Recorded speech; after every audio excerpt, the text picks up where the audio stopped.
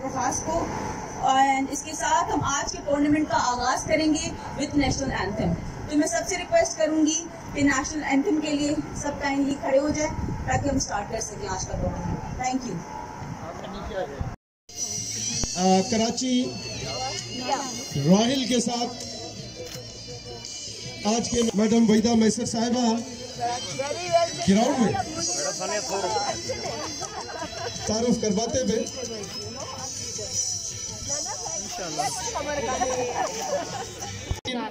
तारीफ़ है लाइक है जिन्होंने दिन रात मेहनत करके आज इस इवेंट को हाँ, दो सेमीफाइनल और तीसरी और चौथी पोजीशन के लिए।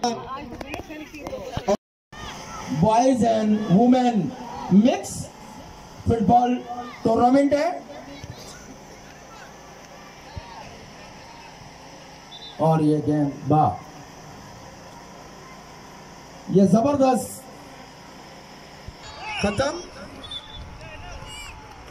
पहले आपके इख्ताम पर कराची रॉयल, दो गोल दूसरा हाफ़ शुरू हुआ।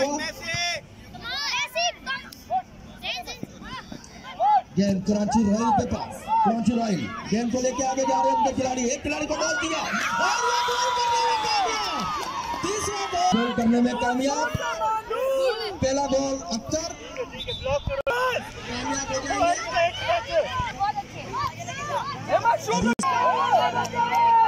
अली शान की इस में में देखकर बहन खुश हो रही होंगी कि ये नया टैलेंट।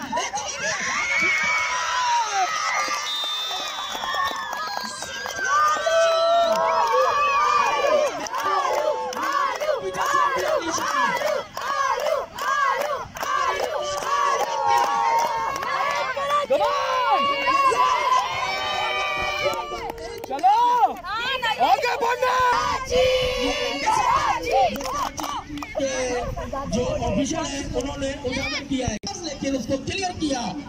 बाबर बाबर चक्का चीता के खिलाड़ी ने एक खिलाड़ी को डॉज दिया। गेंद को लेके आगे जा रहे हैं। अच्छा दो को डॉज दिया लेकिन सिस्टम को इस एडमिनिस्ट्रेशन को इन शहरों को इन गाँवों को इन मैदानों को लेके चलेंगे। तो इस किस्म की एक्टिविटीज़ होनी चाहिए।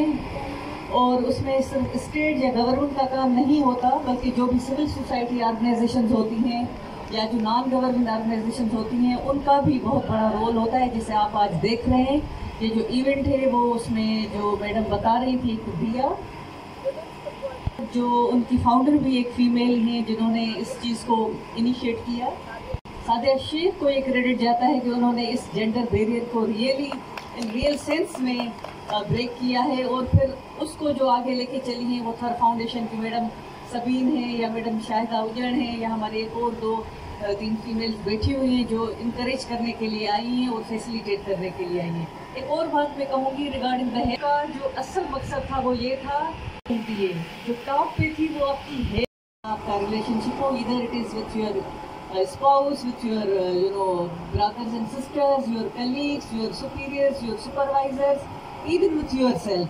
तो first is a health then is a relationship उसके बाद फिर आपका आता है पेशन अगर आप पेशन फॉलो करोगे, चाहे वो स्पोर्ट्स में क्यों ना हो, या किसी भी फ़ील्ड में देन आप ग्रोथ करेंगे. तो fourth is a growth and then fifth is your contribution toward the society अगर पाँच चीज़ों को देखेंगे health relationship passion growth and contribution तो हमारी सोसाइटी के जो और मसाइल हैं, जो ज़्यादातर हम सुनते भी आते हैं और आजकल न्यूज़पेपर में बहुत ज़्यादा आता है कि नौजवान खुदकशियाँ कर रहे हैं स्पेशली थर की तरफ़। ये जो रीजन है।